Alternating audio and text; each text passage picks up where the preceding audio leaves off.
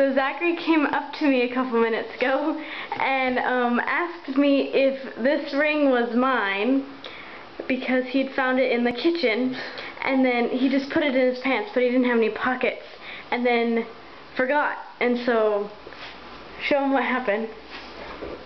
it got a little indent on his skin of the ring.